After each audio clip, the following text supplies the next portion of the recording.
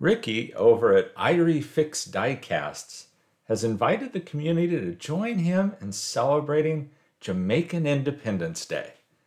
The only rules for the invitational is to customize a diecast using two colors from the Jamaican flag.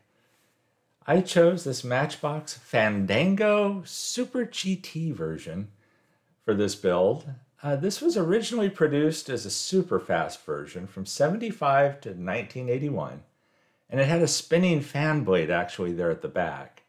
The Super GT version came out in 86, ran through 1988. This one's from 1988, and it didn't have the spinning fan in the back. It just had that little tampo or decal back there.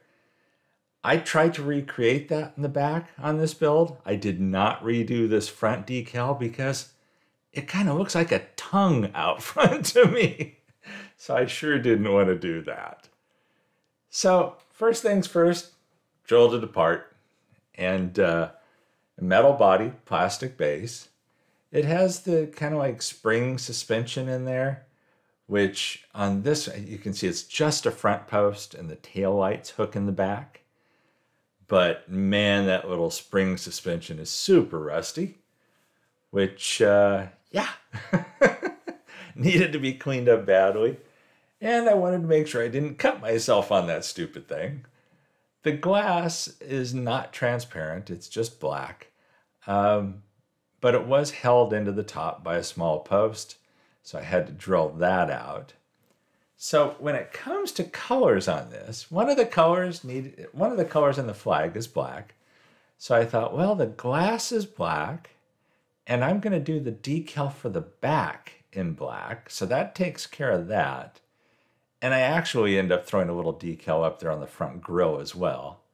For gold, yellow or gold, and I went with gold. I went with those Samed wheels that you see there. They were the perfect size for this. I had to cut the little plastic hub from the back of the rear tires to get it to fit. There you can see I took that spring thing to a wire wheel for quite a while to clean it up.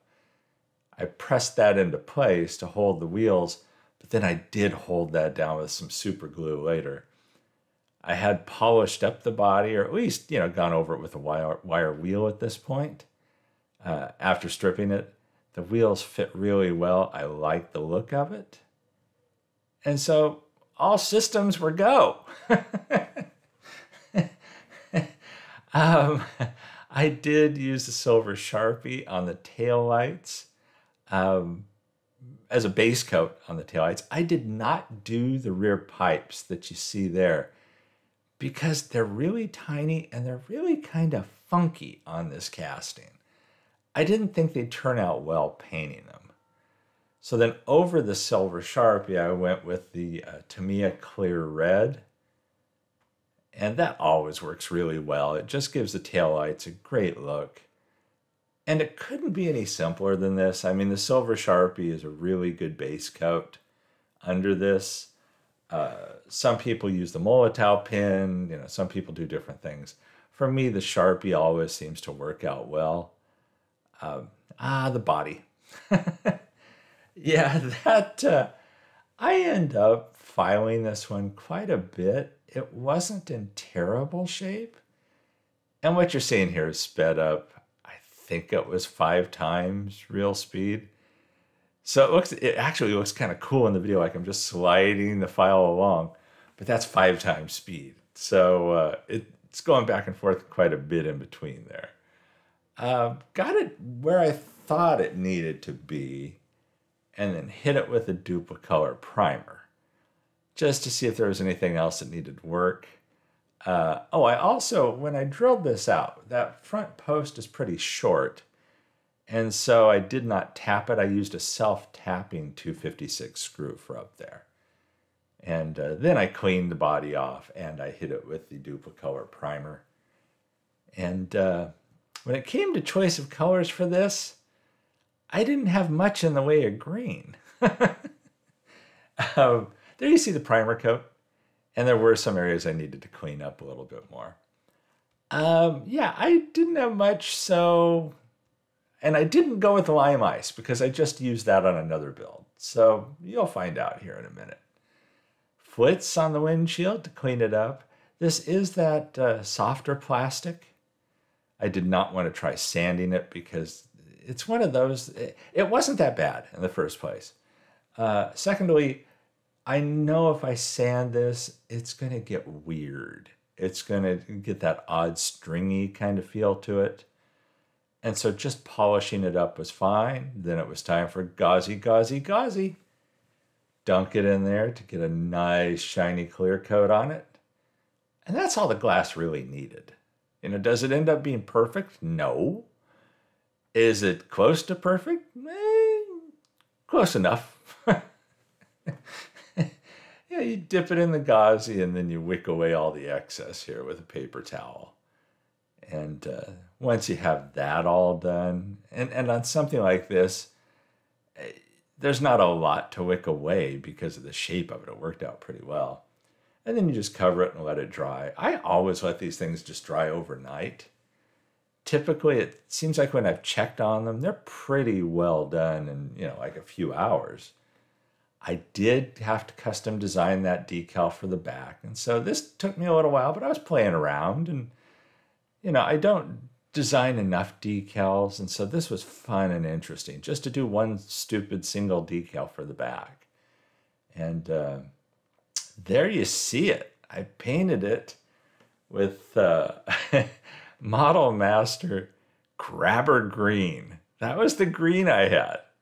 You know, it was either that or lime ice. I was out of the uh, metal cast green. You know, I didn't have anything else more of a regular green. So this is pretty bold. but at the same time, I kind of like it. I, it kind of fits this casting, I think, pretty well. I was thrilled with that decal because it's a very simple design. And because the fan was cast on the back, I was able to measure what was there and make something pretty exact. Uh, so at this point, it's just time to attach the windshield. For that, I used a Bondic resin pen.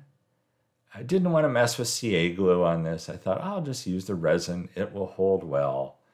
And so you just put a little of the resin there on the post, a little around it to make kind of a little cap, and then the UV light on the resin pen cures that resin.